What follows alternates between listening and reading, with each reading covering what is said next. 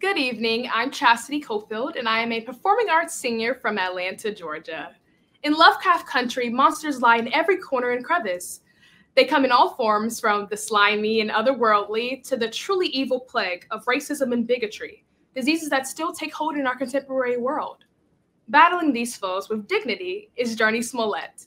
It's the same cool monster of repeated history that she faced down in the powerful series Underground and the one she speaks out passionately against in her personal life. As Letitia Lewis, Smollett brings cool wit to a horrifying world. She stands toe to toe with whatever winds attempt to knock her down, and her perseverance is truly an inspiration. I watch Smollett and feel the power of true bravery, authentic strength, and timeless heroism. She embraces stories and themes that are inherently disorienting, critical, and sometimes heartbreaking. But in that stir, we all come out stronger. Let's take a look. You just gonna stand there, Tick? Or you gonna help me? Letty Lewis. Not only my friends get to call me that. Wait, you coming with us? Part way. The Bible is full of demons and monsters. All this time, I've been chasing faith when I should have been discovering it in myself.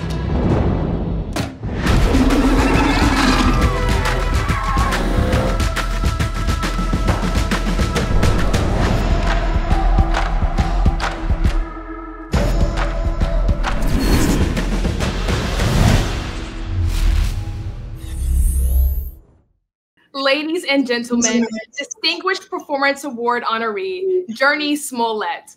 Congratulations. Oh, wow. Chastity, thank you so much for that beautiful introduction. Thank you, SCAD, for this beautiful award. I, I'm I'm truly so honored. I mean, uh, your president, Paula Wallace, the the SCAD students, you've always been so supportive of me and my work and honored us during underground. And again, to receive this um, Distinguished Performance Award means so much coming from you. And, you know, playing Letty Lewis has been a dream for me. And to see how folks have responded to it is quite humbling. Um, I mean, I just feel so grateful to have worked with folks like our mad scientist, Misha Green, our creator, showrunner, writer, producer, um, who uses the art of storytelling to really illuminate the humanity, humanity of Black folks. And to have the support of Jordan Peele and J.J. Abrams and HBO and Warner Brothers, and to work alongside masters at their craft like Jonathan Majors and Courtney B. Vance and Michael K. Williams and Aunjanue Ellis and Wunmi and uh, Jamie Chung and Abby Lee and Jada. You know, it's it's it's really a project that is food for my soul, and to be a part of a show like this that feels disruptive, um, and to be recognized by you means the world. So thank you, thank you, and so much love to you all. Wow, thank you.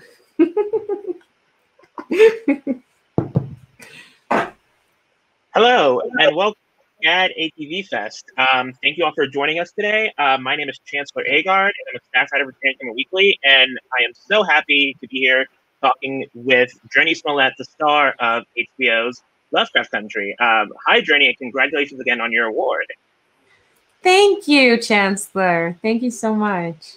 Um, it's like I feel like this award couldn't. Uh, this, this award you're obviously getting it for Lovecraft Country, but I think it also applies to your entire several decades long career, um, going back to, going back to sort of um, Eve's Bayou. Um, I think before we get to Lovecraft Country, I do want to jump back a bit and talk about some of sort of the important steps you've taken on along the way throughout your career. I think they can be, um, in person as a fan, I just I find them very inspirational. Um, I've learned a lot from watching. So I guess I want to start with um, with Eve's Bayou a bit. because I remember uh, you told my colleague Sarah Rodman over the summer how that project sort of uh, was sort of the moment where you went from sort of doing acting as sort of like a hobby sort of thing to mm-hmm. like wanting to do it as a career. I'm, I'm curious, I mean, what was it about that movie that sort of changed your sort of perspective on on the craft?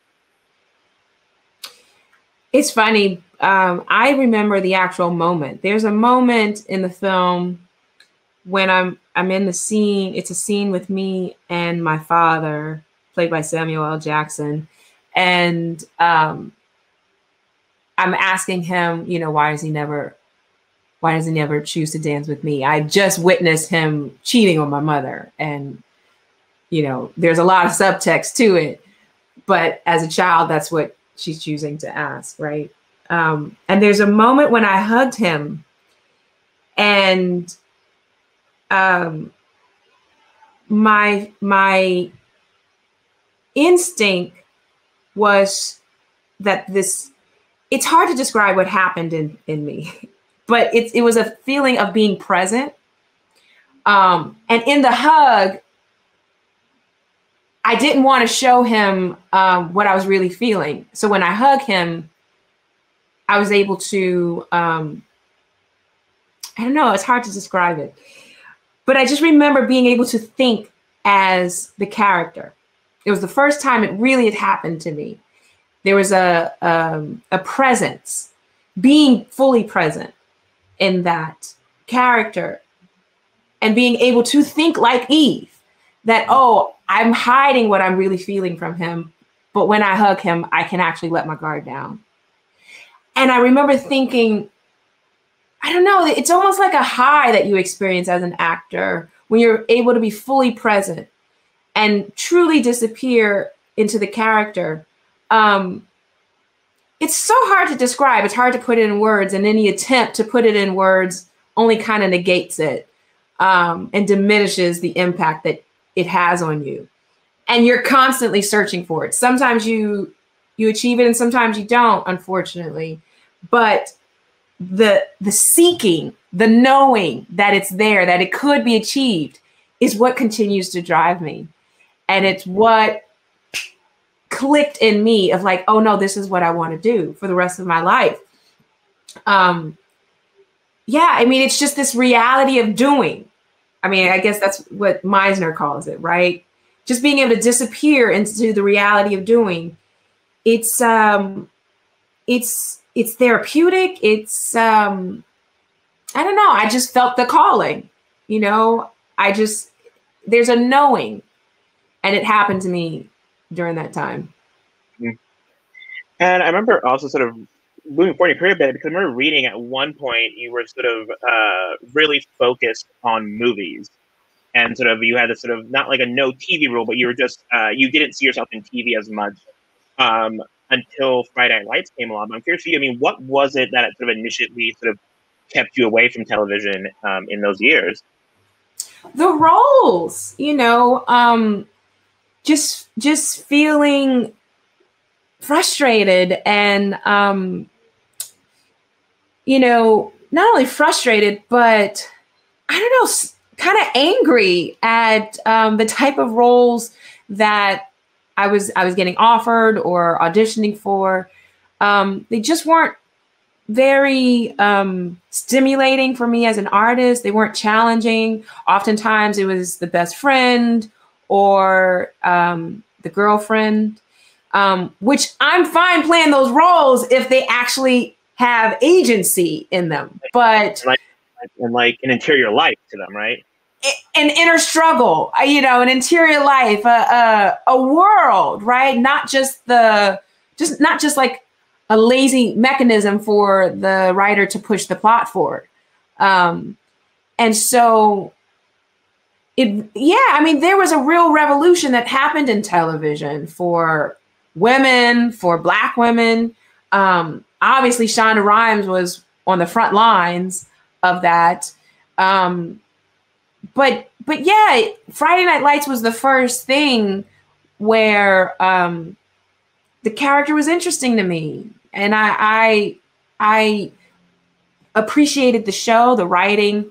Um, pete berg when I auditioned for him, he read with me, and it was a it was a total improv, you know, just about football and having brothers. And he went at me, and I went at him, and it was thrilling. And afterwards, he gave me five. He was like, "You're a fucking incredible actress." I was like, "Okay, let's do this." um, so I've kind of you know, just gone and leaned into characters and storytellers. Um, and so it's not really that I swore off either narrative format. It was the storytellers, once they came, once they were there, once the characters were there, that's when I leaned into TV more and and honestly kind of leaned out of film. Um, but I don't I don't have a preference one or the other. It's it's I lean into storytellers and characters. It's literally that simple for me. Mm-hmm. Um, and with I mean with Friday with Friday Night too. I mean that show uh, was such a remarkable show for many reasons. One reason was the way that it was shot and the way that it was filmed and the way that like you guys didn't rehearse. You didn't. Uh, there, there, there, there was a lot of improvisation. I mean, what was it? What was that experience like for you, and what did you sort of learn from shooting a show that way? Oh, I learned so much. It gave me an incredible amount of freedom. Um, for one, the other actors, um, you know, Jesse Plemons and and um, Michael B. Jordan and you know, Coach. I mean. I love that man so much. Um, and and Jason Katims, our our um, creator and showrunner, um, was incredibly encouraging. Um, he, he encouraged this level of freedom that was like unprecedented for me. Um, and he said to me, he said, Jurnee, I mean, I am not going to be able to tell you how a 16 year old black girl is going to behave. You know, I mm-hmm. got to take the lessons from you. Like you tell me. And it was so powerful of a, of a statement for him to make that, you know. Mm-hmm. Um, and it empowered me and I ran with it, you know. But yeah, we didn't have rehearsals. We shot like 12 pages every day and the cameras just went up, three cameras at a time, and every take was different. And you know, I remember sometimes I'd just be like to Mike or Jesse, so yeah, I'm not let's not start it this way or how about we start you know and it was it literally was um i don't know sometimes it felt like we were just in like acting school or something you know just in class and the amount of freedom was very liberating mm-hmm. i mean with friday night lights and then also parenthood and true blood you had this period of time where you were sort of just jumping into these very popular shows that were already in the full swing of things, sort of deep into their runs. Um, as an actress, what is it like to sort of jump into a situation like that where you're coming in, the machine's already moving, and sort of having to sort of find your place and carve out your own space in that um, in those shows? I guess it's very challenging because the thing about these projects, they all you kind of become a family with mm-hmm. with your cast, with your crew, and and so you're really kind of jumping into a well-oiled machine, a, an already established family. Um, I've been fortunate because so many times um, when I was jumping into those projects, I received such warm welcomes. You know, um, Parenthood. One, it's it was kind of some of the crew from Friday Night Lights. You know, mm-hmm. Jason Katims and his team, and so it was such a warm welcome there. Um, but also in times I just kind of would use it, um, you know, that outsider feeling. Mm-hmm. If your character is just being introduced, oftentimes your character is the outsider, you know. Um, and so, like with True Blood, my character for sure was an outsider and coming and penetrating this world that was very foreign for her. Mm-hmm. Um, so you just try to use it in in a way. Um, but yeah, it, it it is its own unique muscle um, to come into a, an established show in that way. Mm-hmm. And then after that, we move on to Underground, which is sort of uh, the first of show where you're the lead character uh, from Jump as an adult.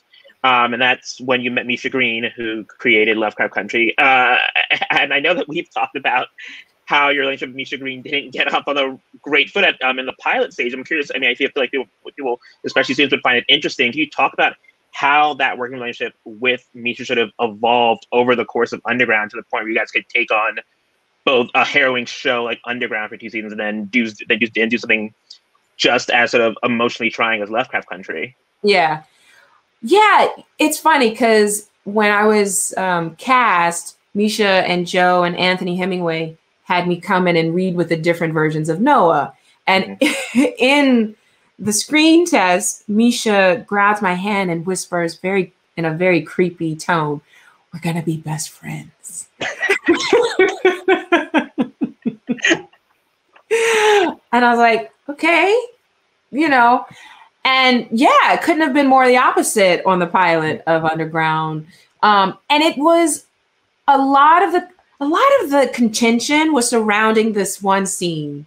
Um, the whipping scene in which Rosalie sacrifices herself for her little brother. And I was honest with her and saying I didn't feel it was on the page, right? Mm-hmm. That the scene wasn't there. And we had practiced it and over rehearsed it and talked it, debated it until we were blue in the face. And she and I couldn't have been on more like opposite sides about how to approach this scene. And I'm coming with all this research, you know, of like, well, yeah, but this is how they did it. Yeah, but this is what would have happened. Or, yeah, but like instinctively your body would run, or you do this, like all these, you know, I'm arguing with her that this scene is not going to work. Mm-hmm. and then physically, everything I'm doing, she's telling me, no, that ain't it. No, that ain't it.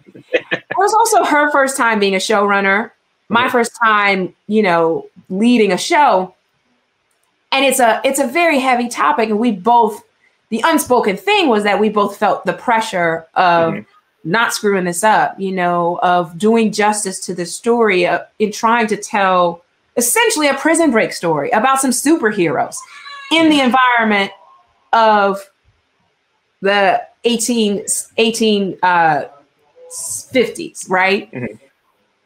that's not an easy task um and so we just kept butting heads. And finally, on the day when, when it came for us to shoot the scene, I said to Anthony, our director, I said, don't talk to me about this scene. And the only thing I ask is just don't let me hear the sound of the whip because we've over discussed it. And the only thing I can hold on to in order to keep it fresh is the sound of the whip. And I haven't heard that. So just, I just give me that one thing. And I mean, honestly, I didn't know what, what I was going to do when I when the camera started rolling. I just I literally prayed to the ancestors and was like, please just use me. And boy, a spirit took over me. And it's the thing, it's the thing about art. It's like you can't, you just gotta trust and surrender, you know? Um, and Anthony just let the cameras roll and we did it a few takes. And after I couldn't stop shaking, I couldn't stop crying. And Misha came over and her and Anthony and Aldis hugged me for probably like 10 minutes. And it was a real breakthrough for Misha and I in understanding that I have to trust what's on the page and mm-hmm. she has to trust me. Mm-hmm. And if I just surrender, if we both just surrender to it, there's going to be a there's going to be another element that will show up that we can't rehearse that you can't plan for right um and so yeah we you know did become really close friends and the collaborative spirit um was just like a, a tunnel. I mean it was like a an ocean wave like you know it just flooded um and the gates opened up and we learned each other's love language.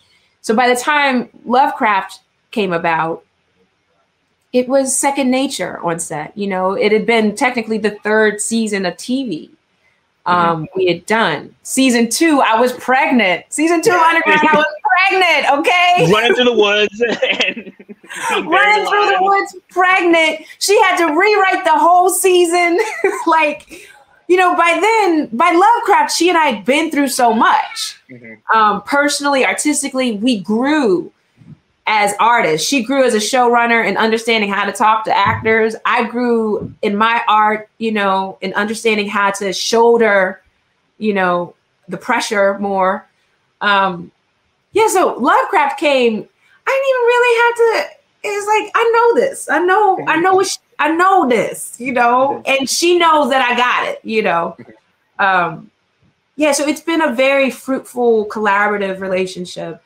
Um, and one of the things about Misha is she will push you past your boundaries, and that's it's why I keep coming back and keep being hungry to work with her on these projects because she just her writing's unparalleled. You know, um, she she writes our narratives in a way that's very radical. Mm-hmm. And as an artist, I mean, you're pushed to your limits and then pushed past it, you know, and she wants you to lean into the stuff that makes you uncomfortable. And for me, it's so thrilling. Um, you mentioned in there I mean, the the the the the the the, the idea of surrendering to the word. Um, I feel like that's a word uh, that I feel like uh, really applies to what you guys did on Lovecraft Country. I mean, again, you're another again a sort of harrowing story that's that yes, it's set in the 1950s, but it it feels just as timely. It would have been timely whenever the show aired because because because because because you're so because because you're still issues that we're dealing with in this country in terms of race.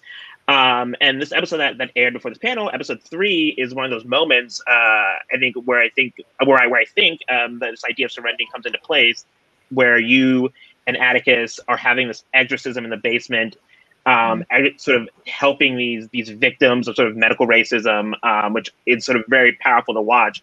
For you, what was it like to sort of shoot that sequence and to sort of prepare for that and do it? Um, yeah, it was a it was another one of those moments where you can't plan it. You know, mm-hmm. you can't um, over rehearse it. You just have to surrender to it. I the only thing I asked Misha, I said, um, you know, we're we're we're performing an exorcism and a ritual, Misha. I said, I'm all for authenticity, but like um the language and stuff we're we're speaking, I mean, can it can we just change some words so it's not actually real? Like I don't want to really exercise them. okay, like you know, I mean, listen, I spoke to my pastor. Mm-hmm. I had rituals. I was like, blood of Jesus is going to cover me. No, but honestly, it was it, it, it was about just keeping it personal. Mm-hmm. If I, you know, I knew if I just kept it personal, this is the stakes are so high for Letty. She is fighting for her life. She's not just fighting to exorcise these spirits that are trapped in her house these men and women who have been tortured, um, you know, the Anarchas of the world. She's not just fighting to free them, she's fighting to free herself. You know, when she says, You're not dead yet, you can still fight, Letty is saying that to herself as well as to them. Um, and I know what that's like. I so know what it's like to feel like a ghost in your house. I know what it's like to have to face, feel like you are facing the devil head on and having feeling like you have to fight in this spiritual warfare. It is so familiar to me, man, when I tell you. Um, and and especially it's interesting how projects come to me. Oftentimes, um, they line up with real things I'm going through in my own life.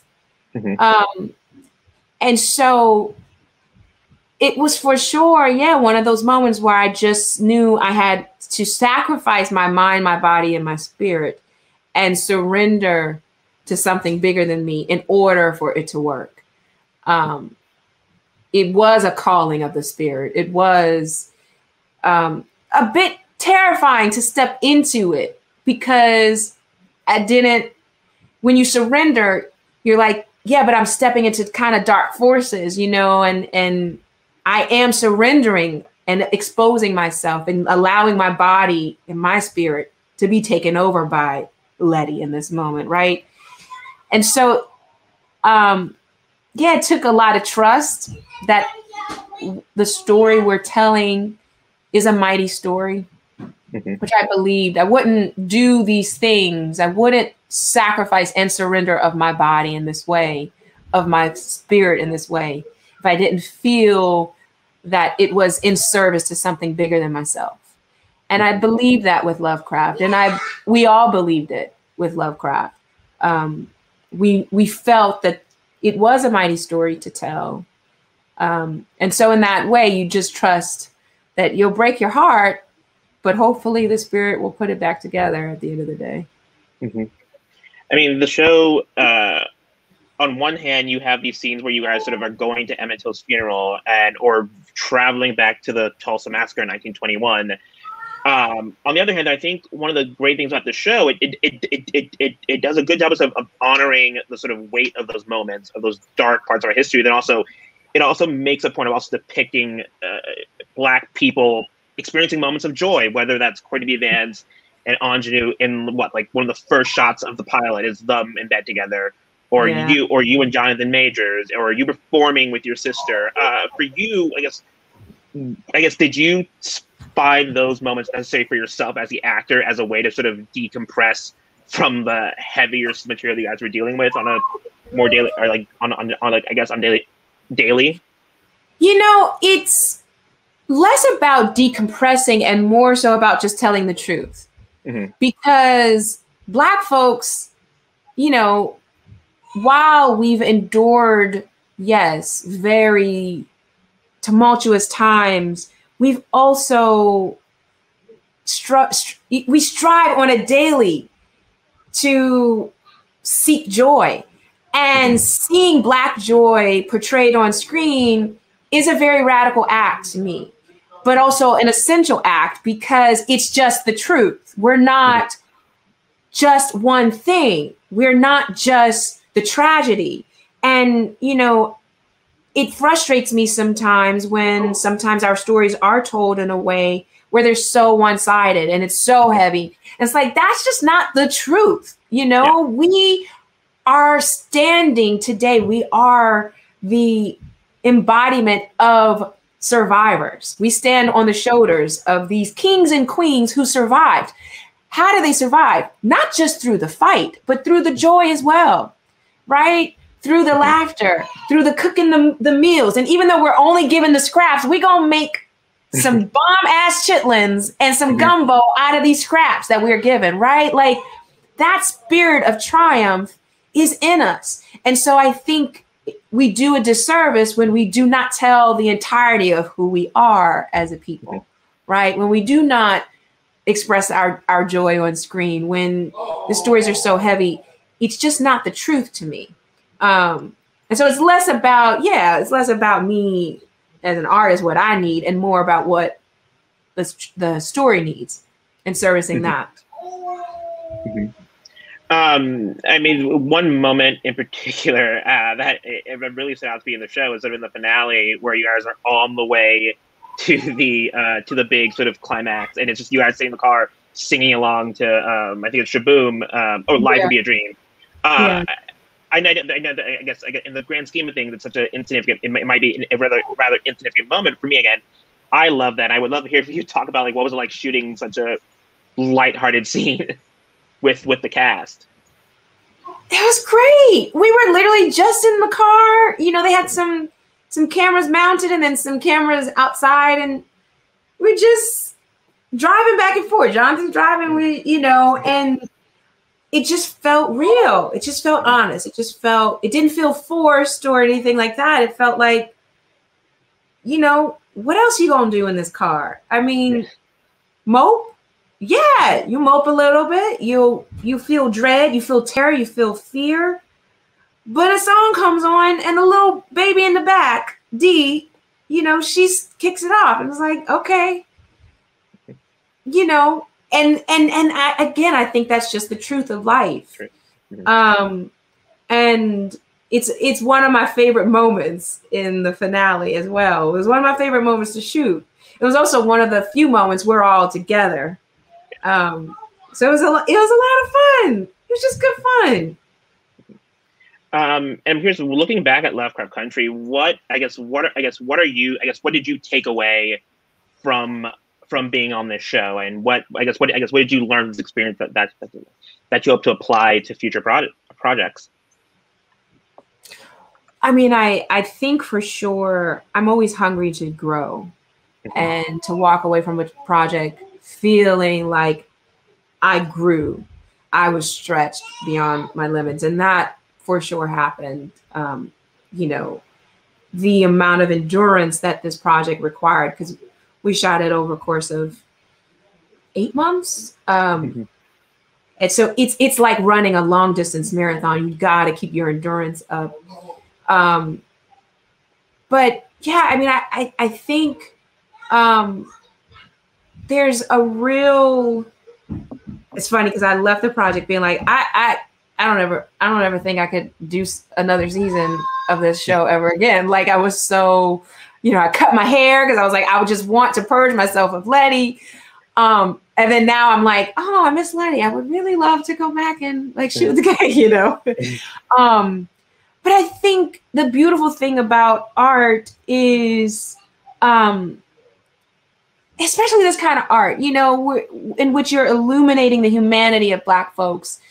You know, the art, because I think too often the erasure of Black folks is so prevalent, mm-hmm. the erasure of our stories. Um, and so it it feel it felt so incredibly satisfying to be a part of something like this um, because you find joy when you're when you feel like you're used for a purpose that's bigger than yourself you know mm-hmm. Um, and i just like disrupting shit.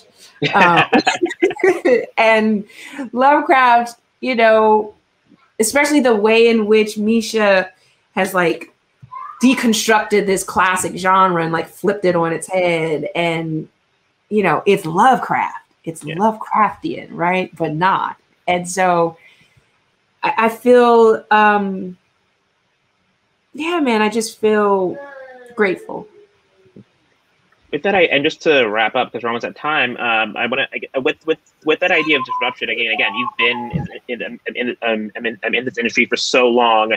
Um, and I know that you've talked about wanting wanting to do a musical at some point. But I'm curious, have you ever given any thought to directing or producing or writing as another way of sort of creating in this industry?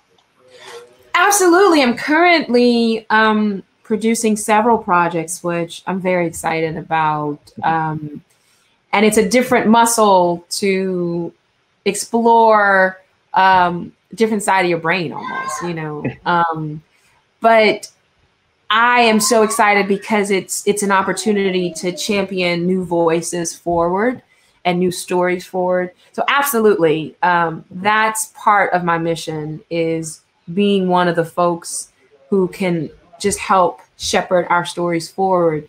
Um, and you know, I can't wait to be able to talk about some of them because some of them are just so thrilling and exciting. And some of the folks I'm collaborating with it's just i mean like pinch me pinch me you know um but yes i'm i'm definitely on a mission to um, shepherd more of our stories forward not all of them i'll have to be in either you know mm-hmm. i um i just want to be one of the disruptors you know awesome um well that's all the time we have today uh Jurnee thank you so much for a great conversation Thank and again, you. congratulations on your award. And thank you to everyone uh, watching at home. And please continue enjoying SCAD ATV Fest. Thank you so much.